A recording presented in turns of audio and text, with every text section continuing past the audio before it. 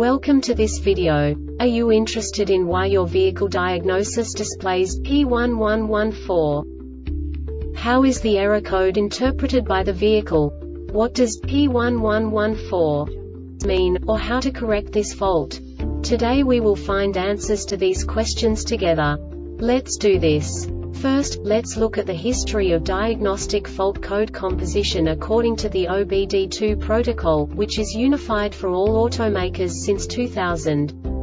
We divide the electric system of automobile into the four basic units. Powertrain, body, chassis, network. This distribution is defined in the first character code. If the second character is expressed as zero, it is a standardized error. In the case of numbers 1, 2, 3 it is a more prestigious expression of the car-specific error. The third character specifies a subset of errors. The distribution shown is valid only for the standardized DTC code. Only the last two characters define the specific fault of the group. Let's not forget that such a division is valid only if the other character code is expressed by the number 0. Our website airbagreset.sk produces useful videos for you. You do not have to go through the OBD2 protocol anymore to know how to troubleshoot any car breakdown. You will find all the diagnostic codes that can be diagnosed in a GMC vehicles. Also many other useful things. The following demonstration will help you look into the world of software for car control units.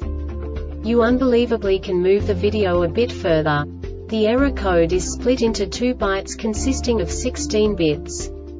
One bit is the basic unit that each computer works with. The bit has two logical states. 0, low level, 1, high level. By combining the first two bits, the basic character of the error code is expressed.